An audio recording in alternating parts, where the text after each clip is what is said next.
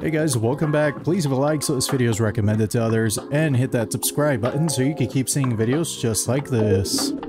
Are living in our oceans. At least that's what Congress heard during a recent hearing on unidentified anomalous phenomena or UAPs on Wednesday. We know that there are objects or phenomena observed in our airspace, as your witnesses will testify, and also possibly in our oceans. In many cases, we don't know what they are. Former military and NASA officials testified, led by South Carolina Congresswoman Nancy Mace. Witnesses reported seeing orbs and groups of unidentified vessels off the U.S. East Coast, some coming into close contact with military ships. In one instance, a retired U.S. Navy Rear Admiral claimed there was a near mid-air collision while an aircraft carrier was operating off the East Coast. The text of the email was brief but alarming, with words to the effect If any of you know what these are, tell me ASAP. We are having multiple near mid air collisions. So, what do you think? Have you ever had any encounters with aliens while out on the ocean? I never really understand the point of these meetings. They never give us anything. The information's always super vague. I definitely get super frustrated with any information that they put out. Nothing new, nothing we didn't already know. They never show us proof. If they're basically saying they're true, just show us the proof. We all still have rent to pay. Show us the aliens. This is what a cockroach sanctuary looks like. A cockroach sanctuary. Why is that even a thing? Oh my goodness. Uh, they're crawling all over him too.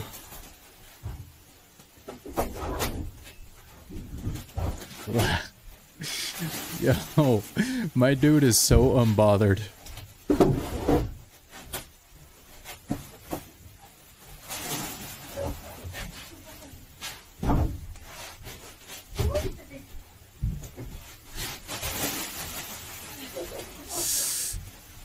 it feels like some of them are crawling on me right now. The pay better be good. It better be good. This would be the worst kind of job, man. You know that you're constantly going to be taking roaches home with you. Are those fireworks? What is that? Fireworks or something. Aliens? I don't know. What the heck Where is is that? Am I? You see it, right? I'm actually, uh, yes, Okay. I do see it. Okay. It's getting weirder by the second. I know. It's like Um, they're sticking around. We're gonna do some Anybody? digging and figure out what that is. Back in a moment. What are those drones? I mean, if those are drones, those are weird looking drones. I've never seen any drones that leave streaks like that. That one's weird. I have no idea what that is. I have no clue how the f- something like this happens. Is that a There's a I have no clue how something like this happens.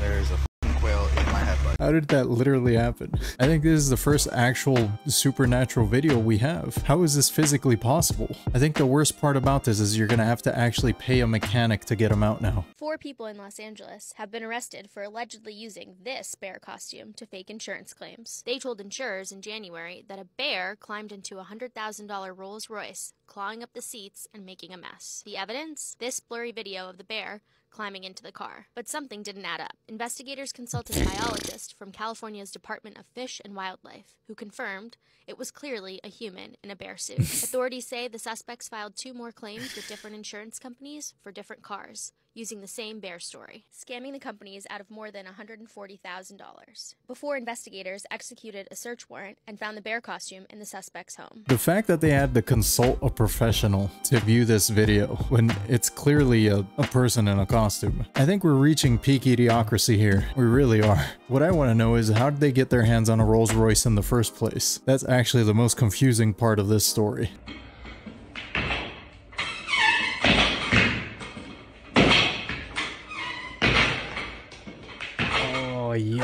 Dude.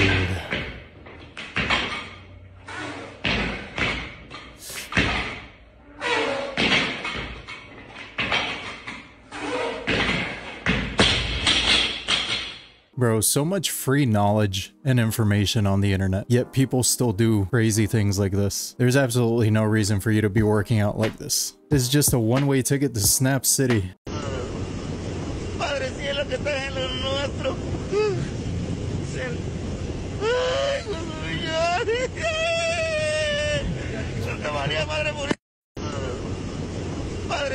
Que en lo nuestro.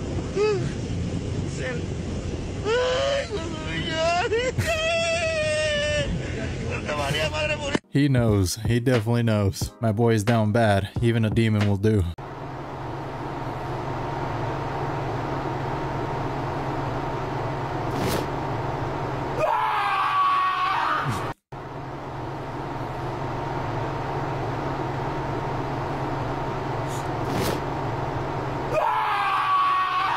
Bro woke up for that 4 a.m. snack. The dog was so unfazed. Didn't even flinch, bro. He was too hungry to react. Police in Kentucky are continuing their search for this serial porch pooper. An unidentified man has been repeatedly defecating on the same porch over the past few weeks for no apparent reason. On the homeowner same porch. to remain anonymous said the man in question came to his house six times in one week. He added that he has no idea who the man is or why his porch specifically is being targeted. You know, back in the old days, I think people used to put the poop inside a uh, paper bag and light it on fire. This dude's just cutting straight to the chase. This doesn't sound like it's random. This is definitely targeted. How are they not able to find this guy? His face is clear as day.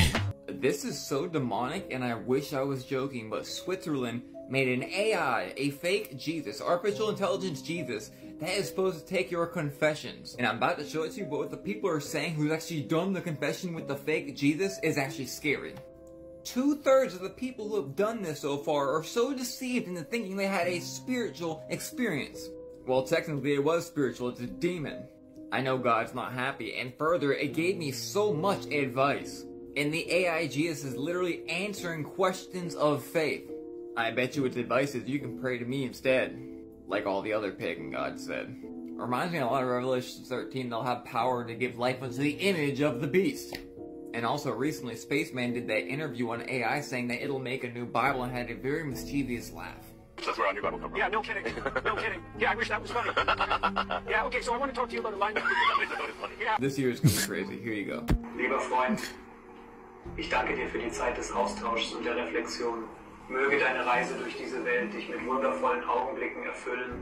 Rebuked. This is so wrong. Y'all going to hell. Don't go confess to AI Jesus, please. You're definitely talking to a demon here. And you know for sure they're recording all your sessions. So, carpenter beat or a wood of a thousand souls? What do we got going on here?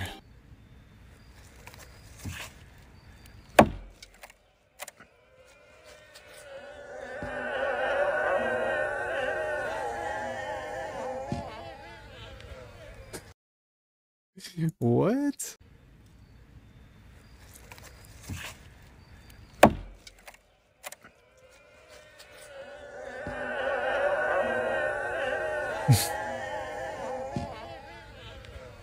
I recognize that music. That's what they use for every horror movie. That's a creepy bee, bro. That's a really creepy bee.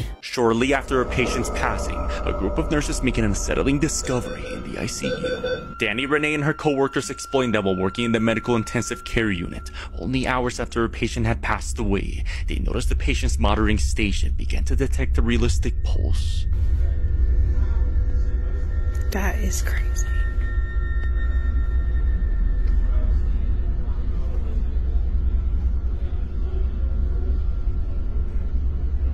Even after turning it off, resetting the machine, and even changing the cables, mysteriously, a dying heartbeat will be detected. Danny and her team of experienced nurses are left shocked as they have never seen anything like this before.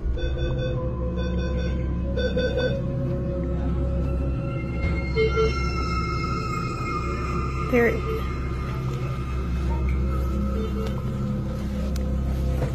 Due to the patient's recent passing, the team can't shake the feeling of a lingering presence. How do you tell the difference between faulty machines and then maybe an actual ghost? Working at a hospital has to be one of the creepiest jobs, man. I bet stuff like this happens all the time. Investigators think Ryan Borgwardt didn't drown in this lake, but instead say he faked his own to run off with a woman he met online. He purchased uh, some airline coupons uh, that he took out a life insurance policy earlier in the year. The 45 year old was first reported missing August 12th when he didn't come home after kayaking on this lake near his home in Wisconsin. Police finding a capsized kayak and Borgwardt's car parked nearby. An army of search and rescue volunteers began scouring the lake to bring him home. What a waste of time that, that we did. We put so much time and and effort into that case. Investigators became suspicious after they found out Borgwardt's name had been checked by Canadian law enforcement August 13th, the day after his disappearance. Borgwardt had been communicating with a woman in Uzbekistan and even moved money to a foreign bank before disappearing. Dang. That's crazy. That that is actually crazy. Dude, faking your own unaliving and then fleeing to another country. That is a level of desperation that you know that something was going to boil over there. Maybe it's a good thing that he left for the family at least. I mean, think about it. What drives a man to do this? Oh, snap. Here's the second video. Good evening, it's Ryan Borgwardt. This proof of life video from the Wisconsin man police say staged his own came as a shock to investigators. I'm in my apartment. I am safe, secure, no problem. The specific location of the married father of three is still unknown, but this morning, Green Lake County Sheriff Mark Podoll says his department is now emailing Ryan Borgwardt daily. Our biggest concern was that uh, he was safe and well. Borgwardt was reported missing in August after police found his capsized kayak and fishing rod, wallet and keys, and vehicle parked near Wisconsin's Green Lake. Borgwardt told investigators he used an inflatable boat to paddle off the lake, riding a stashed e-bike more than 70 miles to Madison, hopping on a bus that took him through Detroit and into Canada, where the sheriff says he got on a plane to Europe. He did say was uh, he didn't expect us to go more than two weeks in searching for him. Well, I hate to tell you, he picked the wrong sheriff and the wrong department. Podoll says the obstruction charges will be filed within weeks and that the department will fight to get back up to $40,000 spent on the extensive search. But his main message is an emotional ask for Borgwardt to come home to his family for the holidays. Kids are the most important uh, thing in your life. And what better gift that he could give his kids to return? I don't think bro's coming back. So he's in Uzbekistan. Isn't that where Borat's supposed to be from? That's crazy, man. Maybe it's not a good idea for him to come back. All these comments say just divorce, but I think this goes deeper than that. I think he was getting ready to snap. Like, I think he actually was. You don't just fake your own unaliving if divorce was gonna be the easy route.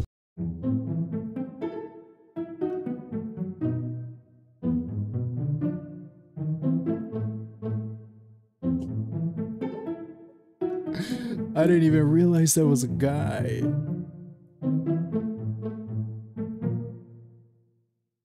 Oh my god. he just taps it too. Dang, man. Good thing you didn't feel the full force of that. You can't really blame the driver for that one. I mean, how were you supposed to see this guy? Remember, the cones are your friends. Use the cones.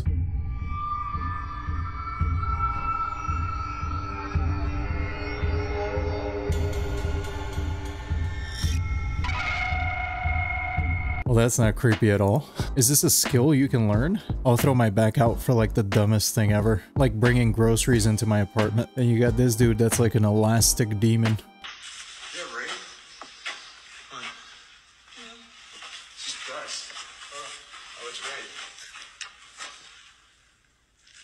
Now you might be asking yourself, why are they running?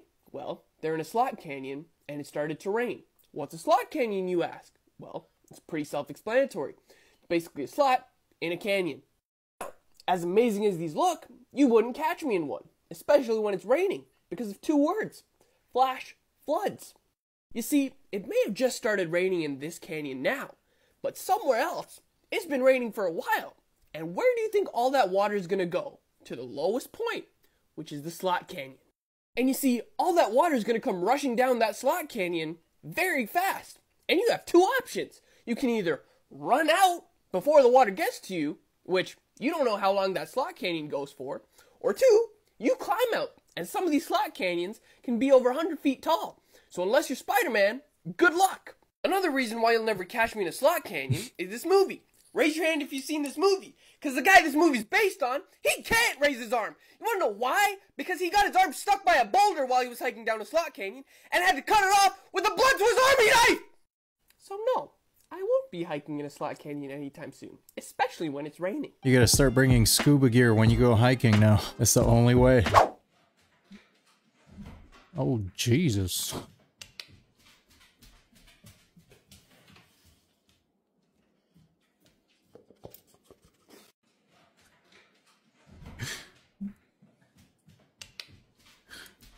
Why does it look like he pays the bills in that household? He's got that dad walk. Came in to check and see if his coffee was ready before he went to work. This is the world's first criminal robot. Security footage from a robot showroom in Shanghai shows this small robot, whose name is Erbai, talking with 12 other larger robots and convincing them to be kidnapped all caught in 4K. Well, maybe not 4K, more like 480p. The entire conversation between these robots was translated, and it's outrageous. What's even more ridiculous is that there is now a meme token called Erbai, the world's first criminal robot. Just follow me for more.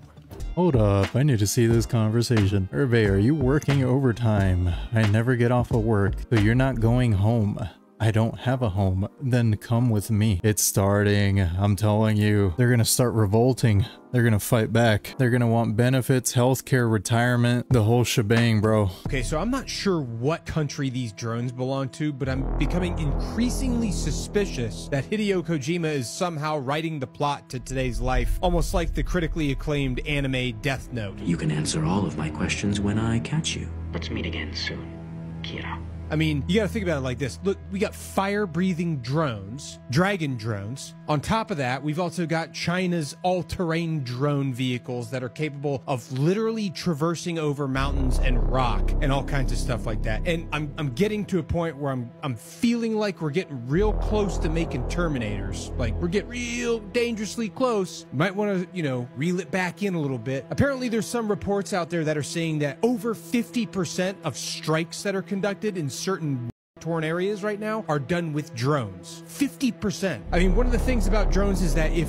the country or the group doesn't have access to a lot of resources, drones provide a cheap and inexpensive way to wage We're right around the corner, man. We're right there. Terminator, Cyberpunk, all of those things. We're right there, dude. What scares me is when they start integrating AI in these. They're gonna be able to think and act on their own. Like if demons weren't real before, we're making them. We really are. Just yo, you're bro. The raccoon just took an SOS pad and started cleaning over here. like he, it literally came up, climbed up, and grabbed an SOS pad out of this and started cleaning. What the heck? You know it's bad when even the raccoon is fed up with you being dirty. Bro was so fed up with living in filth. He took matters into his own hands. Con el iPhone. Ah, A ver si puedo hacer una foto. No he hecho foto, pero... No, pero que nos las pase ella. ¿Dónde lo escribe? A Why is it doing that? This is a hornbill. They purposely set on top of ants' nests to allow ants to crawl over them. This helps them with cleaning parasites, feather maintenance, and stimulation for feather growth. I thought they were eating him. I feel like the first bird that did this was completely on accident. It's so specific and weird, man.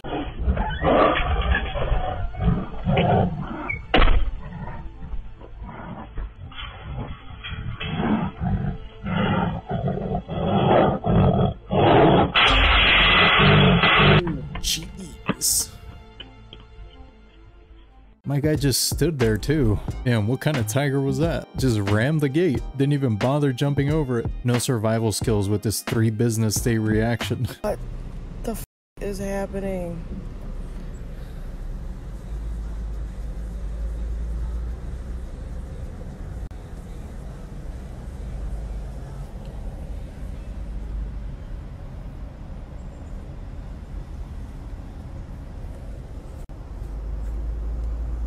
Uh-uh, gotta go. Get me out. Damn, all the NPCs went offline. What other explanation does anybody have for this? This is what people do when the internet goes down. Yeah, that's true. That's kind of how I feel. I'll stare at the wall. Man pretends to kiss a monkey. I'm a little scared to click this. Is he gonna rip his lips off?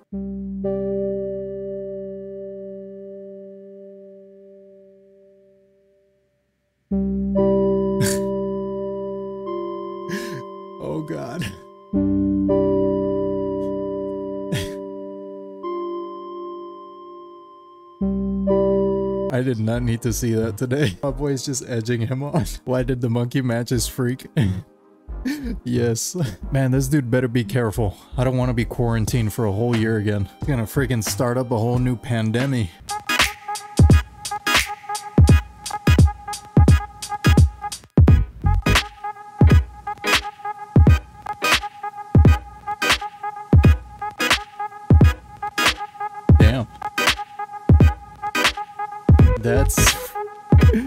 Freaking amazing, dude.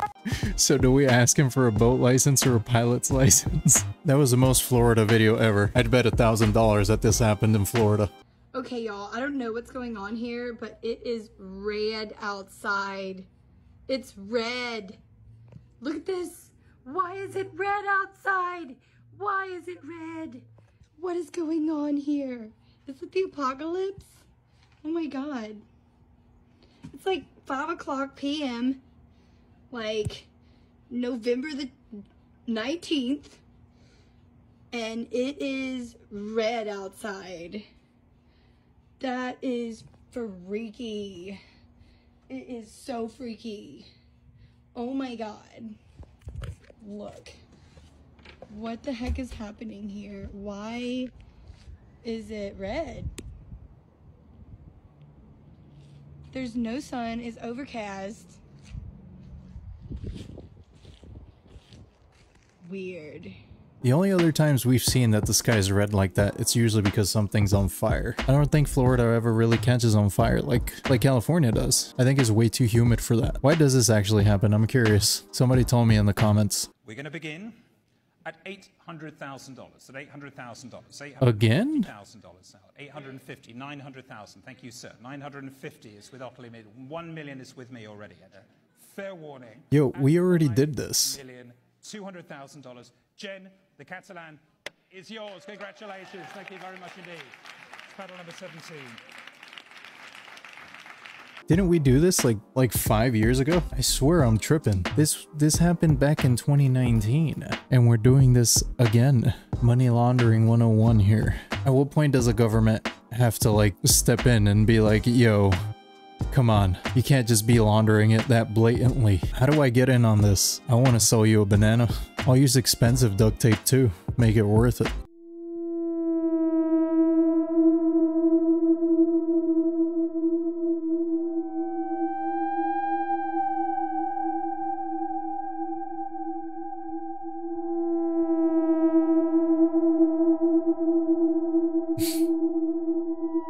That guy's just messing with his neighbors. He knows they have a camera and he likes to freak them out. Bro was probably just bored. I think that's a pretty good use of his time.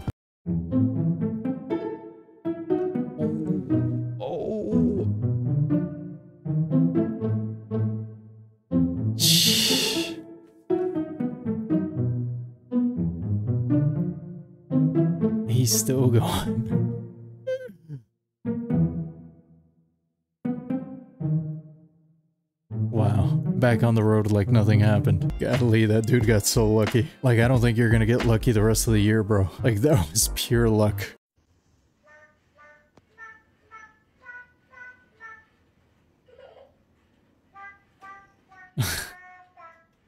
the eyes are blinking. Oh no.